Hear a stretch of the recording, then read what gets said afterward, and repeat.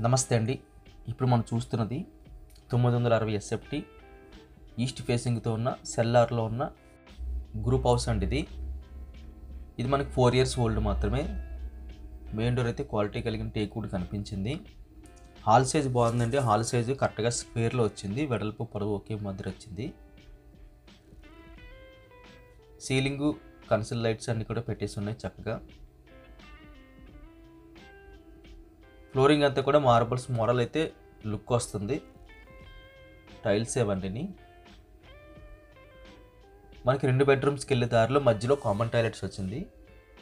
Common టాయిలెట్స్లో మనకి Indian model తీసుకున్నారు.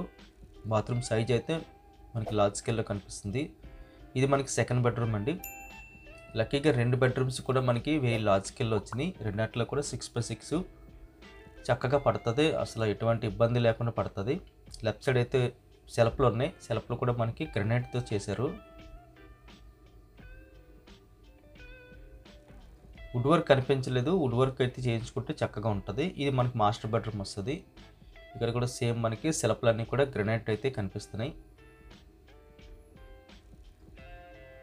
లైటింగ్ సెటప్ అంతా సీలింగ్ అయితే చక్కగా కనిపిస్తుందండి. రెండు బెడ్రూమ్స్లో కూడా మనకి సిక్స్ బై సిక్స్ అయితే చాలా ఈజీగా పడుతుంది. ఇది మనకి అటాచ్డ్ బాత్రూమ్ వచ్చింది. ఇది మనకి వెస్ట్రన్ మోడల్ తీసుకున్నారు.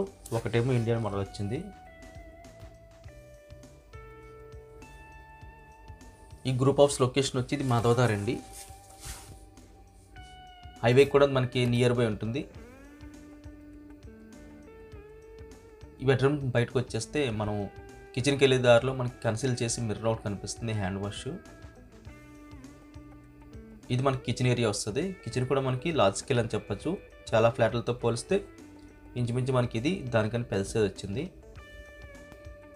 ఒక చిన్న బాక్స్ కింద పూజ రూమ్ కింద అయితే మన కిచెన్లో లెఫ్ట్ సైడ్ వచ్చింది.